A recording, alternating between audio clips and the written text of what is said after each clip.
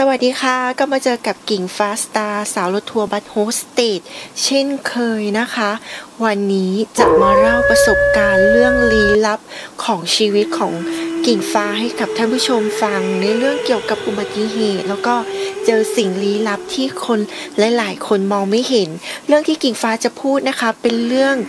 เออเขาเรียกว่าอะไร ความเชื่อส่วนบุคคลนะคะที่กิ่งฟ้าจะมาพูด และเล่าประสบการณ์ของชีวิตของกิ่งฟ้าที่มีมาตั้งแต่เริ่มต้นในการเข้าวงการมาเลยก็ได้นะคะ ของรถทัวร์นะคะ เหตุการณ์นี้ก็คือเรื่องเอาเรื่องแรกก่อนเลยดีกว่านะนั่นก็คือแม่ยนางบนรถนะคะ ถามว่าแม่ยนางบนรถมีจริงไหมสำหรับกิ่งฟ้าเป็นคนที่เชื่อสิ่งลี้ลับมากนะคะ เป็นคนที่มี สัมผัสได้ในเรื่องนี้นะคะ ก็อยากจะมาพูดให้กับท่านผู้ชมก่อนอื่นนะคะ กิ่งฟ้าขออนุญาตเจ้าที่เจ้าทาง แล้วก็สิ่งศักดิ์สิทธิ์ทั้งหลายแหล่นะคะ ขออนุญาตพูดเรื่องที่ลี้ลับ ซึ่งที่มองไม่เห็นกิ่งฟ้าไม่ได้ล่วงลับหรือว่าล่วงเกินท่านในสิ่งใด ๆนะคะ กิ่งฟ้าจะมาเล่าประสบการณ์ให้กับผู้ชมฟัง กิ่งฟ้าขออนุญาตนะคะสา เรื่องแรกนะคะที่กิ่งฟ้าจะพูดนั่นก็คือเรื่องแม่ยานางบนรถซึ่งพนักงานประจำรถจะต้องเจอบ่อยมากนะคะ แต่ว่ากิ่งฟ้าจะไม่เอ่ยว่าที่ไหนอะไรยังไงนะคะ ตัวนี้เป็นสิ่งลี้ลับที่มองไม่เห็นแล้วมองข้ามไม่ได้นะคะ สิ่งศักดิ์สิทธิ์ของบนรถก็คือแม่ย่านางบนรถค่ะ ส่วนมากกิ่งฟ้าจะชอบแบบว่า ให้น้ำแดงแม่ย่านางอะไรอย่างเงี้ยเป็น สิ่งศักดิ์สิทธิ์ที่เคารพแล้วก็บูชาเวลาในการเดินทางมาตลอดนะคะ ตรงนี้นะคะ ส่วนมากลี้ลับบนรถเหรอคะที่เจอแม่ย่านางนั่นก็คือหนึ่งชอบมาเรียกพนักงาน bus hostess หรือสาวรถทัวร์นะคะ ชอบมาเรียกจะมาเรียกว่า หนู หนูอะไรอย่างเงี้ยตอนแรกเราก็คิดว่าลูกค้าเลยป้ายหรือเปล่าเราก็ไม่รู้นะคะ เราก็แบบตกใจเปิดประตูไป ก็ไม่เห็นมีอะไรนะคะ ตอนที่แบบว่า ตอนที่แบบว่าได้ยินเสียงตอนที่เราเผลอหลับไปนิดนึงนะคะ เราก็รู้สึกว่าเฮ้ยใครมาเรียกอะพอไปถามคนขับดูป๋าใครมาเรียกวะเมื่อกี้น่ะ รู้สึกว่าเหมือนมีเสียงผู้หญิงมาเรียกไม่ได้ยินเหรอป๋าถามป๋าว่าป๋าได้ยินไหมบอกว่าไม่ไม่ได้ยินแกหูฝาดหรือเปล่าเราก็แบบว่าหลับไปอีกพักหนึ่งก็รู้สึกว่า ได้ยินมาเรียกว่า หนู หนู ชอบมาเรียกอย่างนี้เป็นเสียงผู้หญิงนะคะ เป็นแบบว่าแบบเหมือนรุ่นนารุ่นอะไรอย่างเงี้ยเป็นรู้สึกว่าดึกๆอะไรอย่างเงี้ยเวลาแบบช่วงเวลาที่เราแบบได้แบบได้พักบ้างอะไรบ้างอะไรประมาณนี้นะคะ มันก็จะได้ยินซึ่งเป็นลี้ลับมากบางทีอาจจะเห็นแบบฝันเห็นแม่ยานางนะคะ ใส่ชุดเสื้อสีเขียวอะไรอย่างเงี้ยบางทีจะใส่แบบจงเขาเรียกว่าอะไรชุดไทยโบราณเป็นสีเขียวอย่างเงี้ยมาในความฝันสวยมากถามว่าเป็น แม่ยานางที่สวยมาก ยอมรับว่าแม่ยานางสวยจริงๆ คือความฝันของกีฟ้า เชื่อว่าหลาย ๆ คนก็อาจจะเห็นเหมือนกันว่าแม่ยานางบนรถมีจริงนะคะ ท่านผู้ชมคะ เป็นสิ่งลี้ลับอีกอย่างหนึ่งนะคะ ที่เราจะต้องเคารพ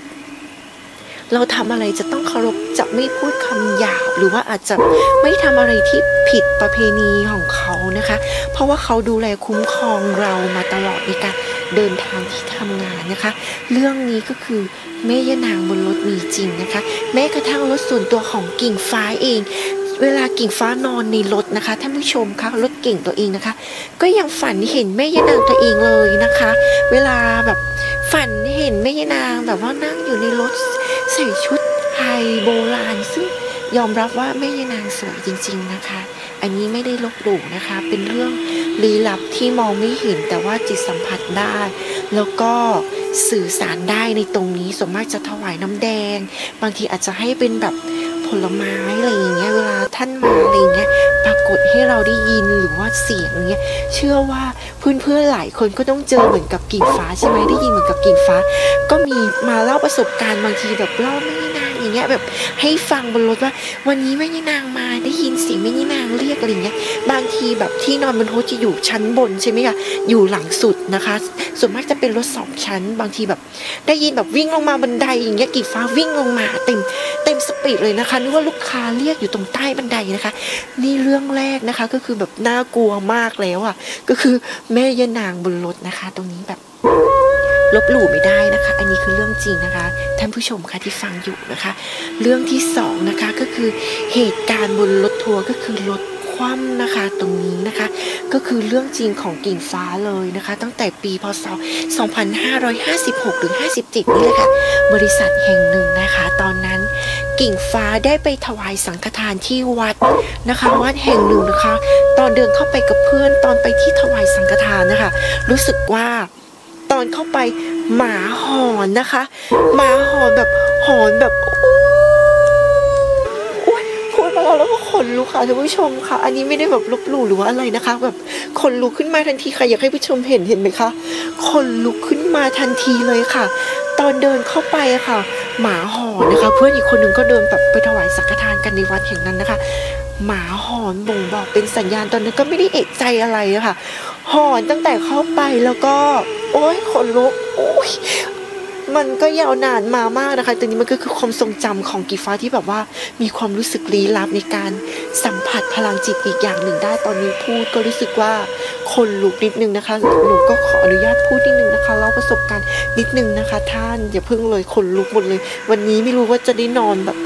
นอนรู้สึกว่าจะฝันหรือเปล่าวันนี้ก็ไม่รู้นะคะแบบ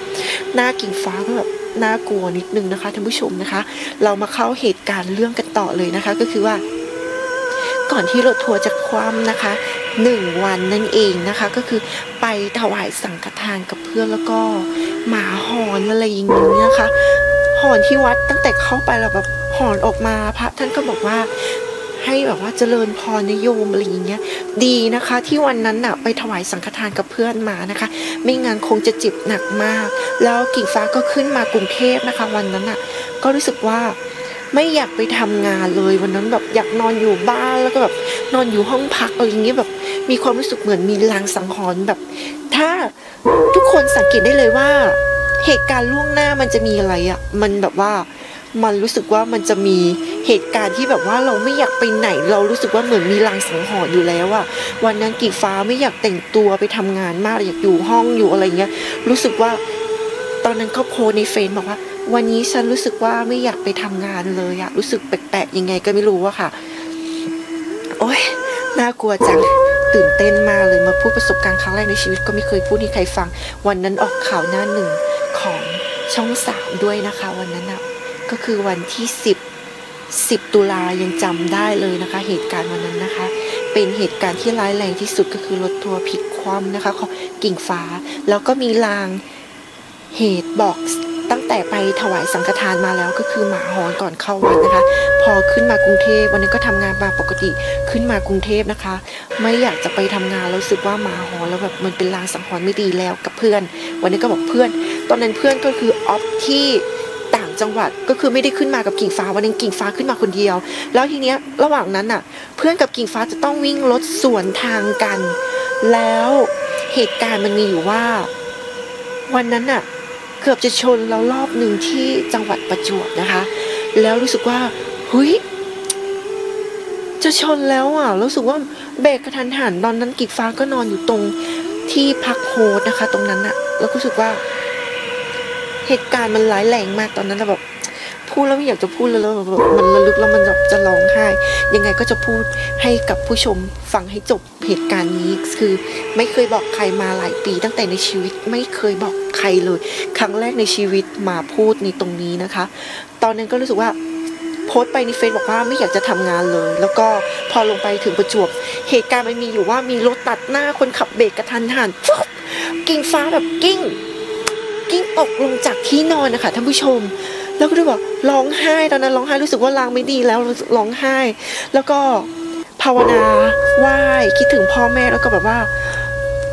สวดมนต์ตอนนั้นอะก็ไปแล้วก็พอเข้าร้านอาหารเสร็จนะคะ แล้วก็ออกจากร้านอาหารเสร็จก็มีอยู่ว่า ก็เริ่มส่งผู้โดยสารแล้วตอนนั้นอะ ปลายทางมันใช้เวลาในการเดินทางก็ประมาณ 11 ชั่วโมงกว่านะคะ แล้วก็เริ่มส่งผู้โดยสารป้ายแรก วันนั้นมีผู้โดยสารลงเยอะมาก แล้วรู้สึกว่าวันนั้นอะไปถึงที่พูดได้ไหมคะ ตอนนั้นอะก็คือจังหวัดสุราษฎร์นะคะ ที่อำเภอกาญจนดิตป้ายสุดท้ายที่กิ่งฟ้าพับผ้าห่มเก็บไว้นะคะ ก็คือแบบแล้วก็รู้สึกว่าแอบมานั่งก็คือไม่ได้แอบหรอกก็คือมานั่งเบาะเพราะว่าตรงนั้นเขาก็นั่งเบาะได้ใช่ไหมล่ะแล้วก็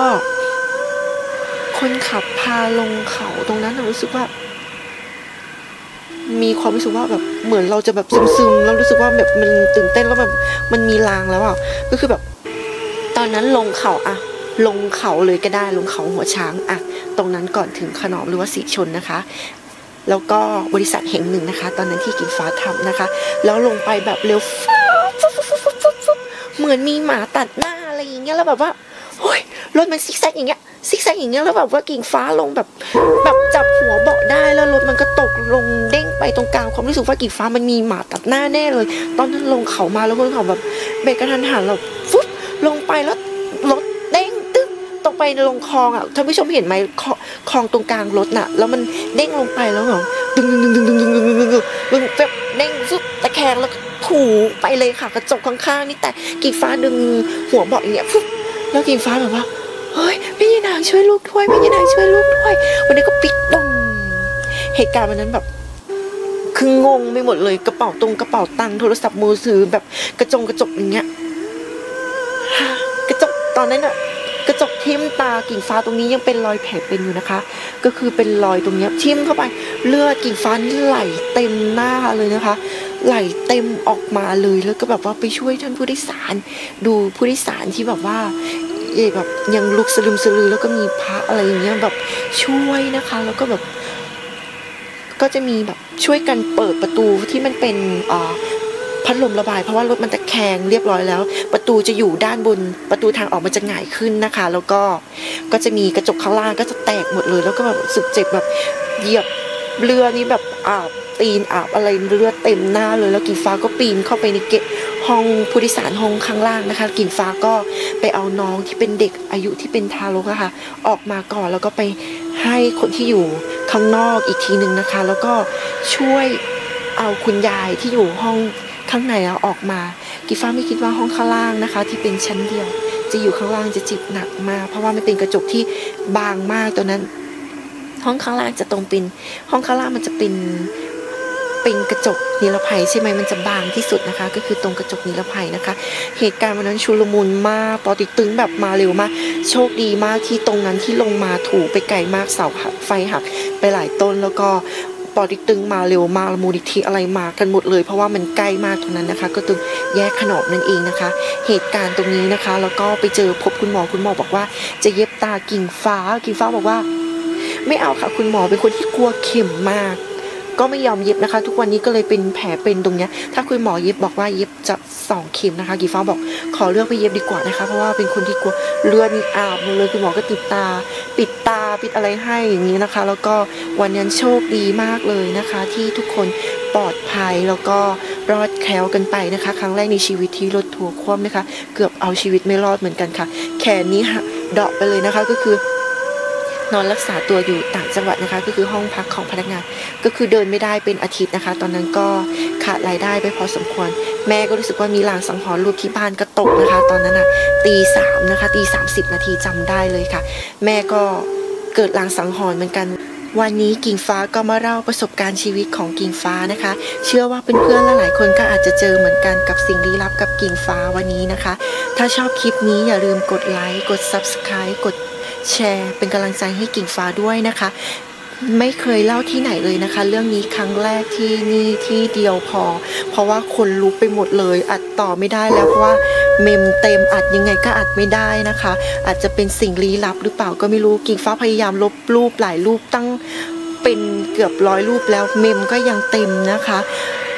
พูดไม่ได้เลยขนลุกตอนที่พูดได้ขนลุกมากเลยนะคะ วันนี้ก็เตรียมตัวนอนแล้วมาพูดเรื่องผี แล้วก็เล่าประสบการณ์ชีวิตกับการเกิดอุบัติเหตุที่ยิ่งใหญ่ที่สุดของกิ่งฟ้าให้กับท่านผู้ชมฟังนะคะ วันนี้กิ่งฟ้าขอตัวนอนก่อนนะคะ มาเล่าเรื่องผีตอนนอนนี่นะกิ่งฟ้า มันเฮ้ยอะไรเนี่ยบรรยากาศมันก็ฟินแล้วเนี่ยไปแล้วค่ะท่านผู้ชมบ๊ายบาย ทำไมฉันบันทึกต่อไม่ได้ เมมฉันเต็มฉันไม่เข้าใจเลย